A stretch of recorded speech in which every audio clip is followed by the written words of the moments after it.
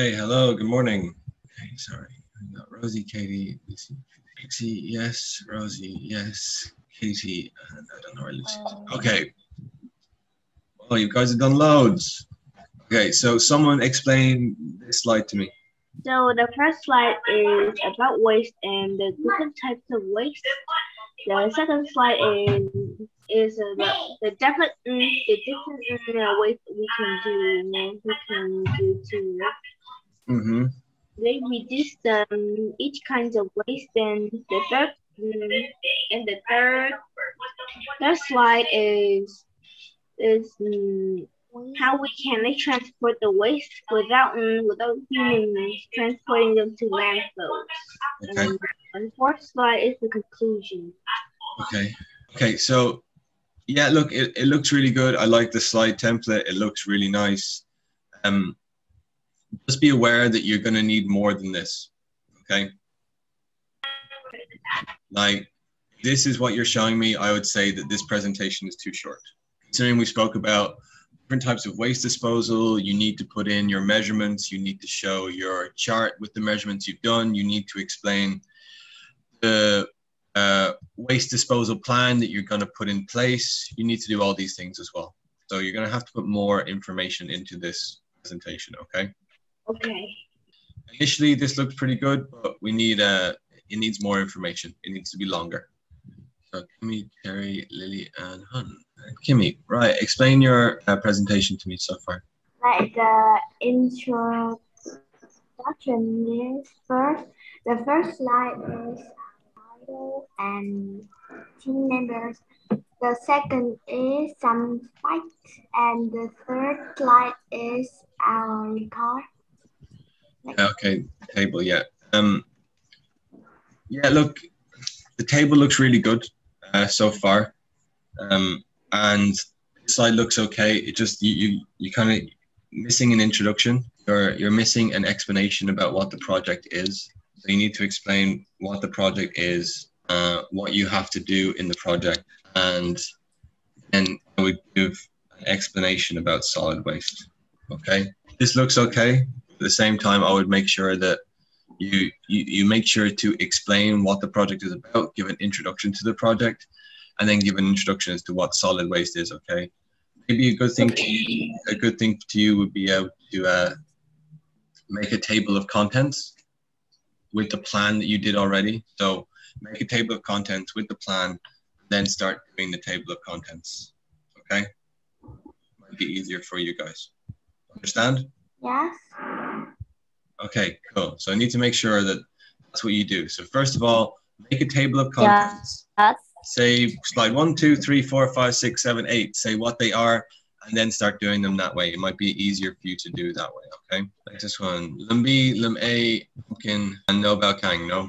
Right. Okay. So what, what's what's next for you guys? What what do you need to do next? Of course, uh, we record and then we write the record uh, uh, in uh, uh, we uh, separate the record uh, and the information into piece. Then we write in the pre- presentation. We uh, will also give picture to tell about the information. Oh, look, what, what you guys need to do is you need to set up a table of contents. So you need to say what slide one to eight is going to be. You need to make sure that you are including information about each one of the slides. I really like this. This is really good. It's really, really good. It's really fun. It's going to catch people's attention. People are going to pay attention. And what I want to be sure is that when you are doing this, you make sure that the information is supports what you've got in the background, right? So today we're going to talk about solid waste, give an explanation about solid waste. But before that, we would have a slide like here, and it would be if I could see the writing introduction, I would make sure to explain, you know, explain what you are doing project, what you had to do, Okay. So that's next steps for you guys, right? Well, Understand? Yes. Okay, cool. Yes. Oh, good job. And then last one that we have. Tell me what's uh, what's wrong with your presentation.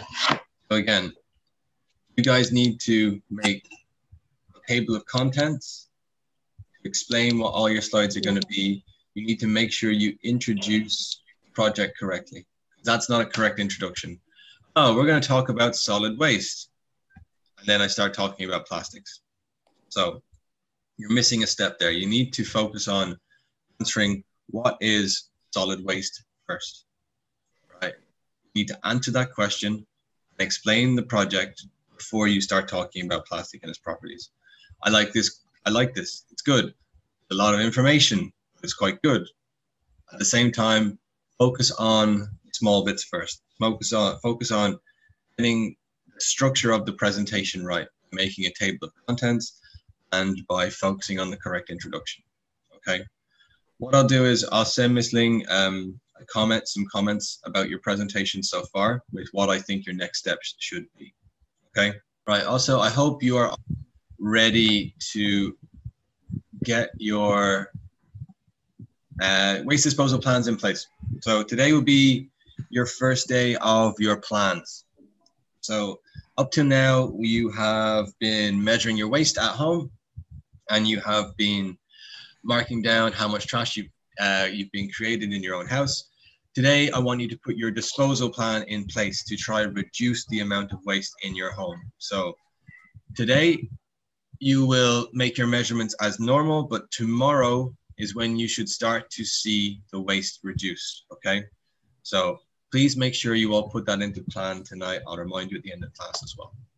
So yesterday we started talking about packaging, okay? Packaging is what something is wrapped up in. It is uh, the protective layer, the outside layer of uh, a product to keep the product safe. Most of the time, it's to make sure the oxygen doesn't get to it because imagine you had some food and oxygen got into your food, it's going to make the food go bad. If you have electronics, you need to package it up with styrofoam or something on the outside so if it falls, it doesn't break. You need to put liquid into bottles to keep the liquid in one place. Otherwise, you just have liquid all over the floor. Remember, it's to protect easy breakable packages. You have products like plastics. Plastics are made from petrol or oil, and they are made from many, many types of packaging materials. Manufacturing of packaging, it has the same problems. Remember, we looked at manufacturing. That we looked at there is 10 times more waste created from manufacturing than there is from the actual product itself. The same goes for packaging as well. When you make packaging, you're actually creating just as much waste as you would before. Um, heavy or bulky packaging is harder to transport and you actually increase your costs, right? So manufacturing, getting raw materials costs money, okay? Costs money. harmful to the environment, Steve. Um, it can be harmful to the environment. Also, when you have heavier packaging, you need to transport it with trucks and trucks they pollute the air right so there's lots and lots of pollution that can come from packaging so let's think about that explain two reasons why packaging adds cost to a product. Have a look here and see if you can find the answer. Give two reasons why packaging adds cost. Getting the raw material and then it will be harmful to the environment. Yeah but we're not talking about the environment we're just talking about cost. So raw materials getting raw materials increases the cost. That's another reason that the cost increases. It increased cost because getting raw materials is expensive. And then the second one is transporting packaging with trucks adds to the cost. Right, it's right there. There, see look, it requires more trucks to transfer products with larger packages, more trucks create more pollution and more cost for the product. So explain two ways in which uh, much packaging can harm the environment. How can packaging harm the environment? Rosie.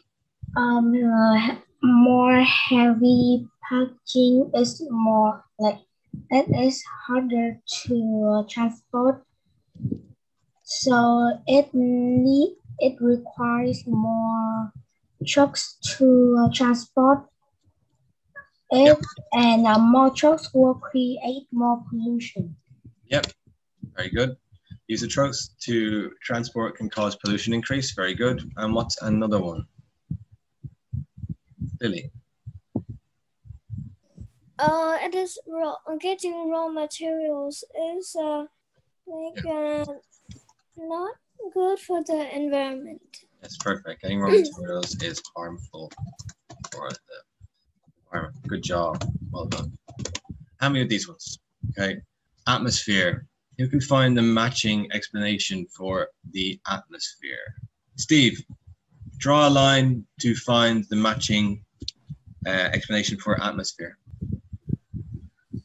Yeah, perfect. Good stuff. Well done. Uh, environment. Num A, environment. Yep, perfect. Good job. Lily, next one, groundwater. Uh,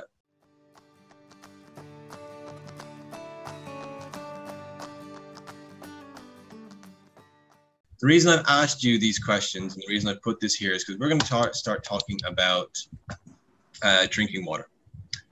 How is drinking water made safe to clean? Or how, how is drinking water made safe? How do they make it safe? Um, Pat, how do they do that? Uh, it has a small layer that blocks solids and lets the water seep through. Mm, kind of. Okay. So basically, what needs to happen for water to be made safe is it needs to go to a water treatment plant. So before water becomes safe, it goes to a treatment plant. It looks something like this, right? looks like all these different uh, circles. And as you can see, the water is actually different colors in pretty much all of them, right? It looks completely different. Here, waste and dirt is removed from the water, and it takes a number of steps to do it. First thing they do is they take out really big waste, then small waste, and they start actually adding chemicals to the water as well. The chemicals that they add to the water helps bring all the little bits of waste together and actually starts to kill the bacteria in the water too. So I have a video for you.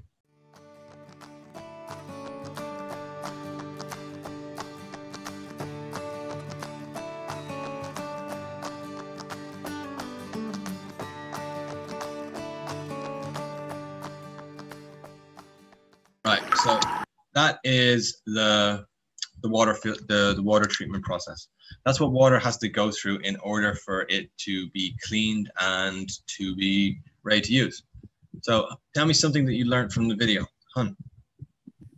Um, I learned that like for the water that we drink, it must go through layers of layers to have like like a good quality of water, so we so we can drink it. Yep, exactly. Who can tell me some of the the layers it goes through? What what are some of the steps it goes through? Uh, filtration and disinfection. Yeah, filtration, disinfection. Good job. There's also clarification and flocculation as well, but don't worry too much about them. Now, the reason I wanted to show you that is because I want to start talking about hazardous or toxic waste. Okay, so before water enters the treatment plant, it is hazardous or it could be toxic. It could contain viruses or germs. It could make you sick. That's hazardous, right? Hazardous means anything that could cause harm to a living thing. And toxic means, again, they're, they're, they're synonyms of each other. So what are some other things that are hazardous, that are that are toxic? Chemical uh, disinfectants like soap and chlorine. Yeah, there's lots, right? So these are all the things in your own home that are potentially hazardous, right? You have oil, light bulbs, spray cans, even paint, bleach, like cleaning products, batteries, like bits for your car, all of these things, they are potentially hazardous, okay? Because if they are added into the environment, they can have negative, they can have toxic effects on the environment as well. Even things like paint. Paint contains hard metals. Hard metals, when they get into water, they're very hard to remove. And that's the same idea with paints. Paints contain heavy, heavy metals like cadmium and lead, and these things are actually dangerous for you. Okay. I'm going to teach you this word contamination. contamination means to make something unclear, impure, or polluted. So, what are some ways that people contaminate the environment? Noob, what's some ways that people contaminate the environment? How do, how do people pollute the environment? Mm, uh, the way that people contaminate Contaminate. uh, is co- like uh, throw trash into the sea. Yeah, throw trash into the sea. Yes, good job. Well done. Think about cars. Think about bikes. They release hazardous gases into the air, right? Okay. Right, all of you. Uh, we don't have too much time. Yeah. So, uh, for your homework, okay? Uh, your homework, I want you to put your waste reduction plan in place for your own home, okay? I want you to put it into action and I want you to start to measure the results from it, okay? So, from today, you need to put your reduction plan in place to try to reduce the amount of waste in your own home. Make sure you know and understand your reduction plans because it's not just in one home, it's in all of your group's home, okay? You need to do it across all of your homes. You need to do the same plan across every single home, okay? And I'll also send you a quizzes as well for your homework. Okay, anyone else any questions before we leave? No? Okay, cool. No, Bye-bye. no. Bye-bye everybody. Bye. Bye-bye. Bye.